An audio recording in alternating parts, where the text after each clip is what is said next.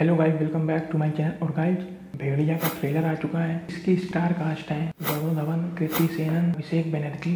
और गाइस बहुत दिन बाद ऐसा ट्रेलर आया है। बहुत ही ज़्यादा अलग कॉन्सेप्ट और यूनिक टॉपिक पर बेस्ड है। और इस मूवी की स्टोरी है, एक दिन वरुण धवन को भेड़िया काट लेता है। उसके बाद वरुण धवन भेड़िया जैसे बनने लगते हैं। उनकी बॉडी में भेड़िया के जेनिटल चेंजेस दिखने लगते हैं। और उनके अंदर बहुत सारी पावरें भी आने लगती हैं। जैसे वो कुछ भी बहुत तेज़ी से उठा देते हैं, थोड़ी ज़्यादा पावर हो जाती है उनके अंदर। इसमें वरुण धवन की एक्टिंग लुक बहुत ज़्यादा अच्छा लग रहा है। और बदलापुर से ज़्यादा अच्छा काम उन्होंने इस बार किया है। कृति सेनन की बात करें तो वो भी एक अलग रोल में दिख रही है। उनका लुक भी अलग है। और लाइक जो बैकग्राउंड म्यूज़िक बजता है, वो बहुत ज़्यादा अच्छा लगता है। ट्रेलर के लास्ट में जो मोगली वाला जो सॉन्ग है, वो ज़्यादा अच्छा लगता है। और गाइस इस मूवी के प्रोड्यूसर दिनेश जैन की ये तीसरी मूवी है, जो हॉरर कॉमेडी पर बेस्ड है। इससे पहले स्त्री और रूही भी आई थी, जिसको ऑडियंस ने बहुत ज़्यादा पसंद किया था। और गाइस प्रोड्यूसर दिनेश जैन एक यूनिवर्स बनाना चाहते हैं हॉरर कॉमेडी का। वही इस यूनिवर्स की तीसरी मूवी है, जिसका ट्रेलर बहुत ही ज़्यादा खतरनाक और यूनिक और थ्रिल था। और गाइस इसका वी भी बहुत ज़्यादा अच्छा लगा है। और गाइस भेड़िया के सिनेमेटोग्राफी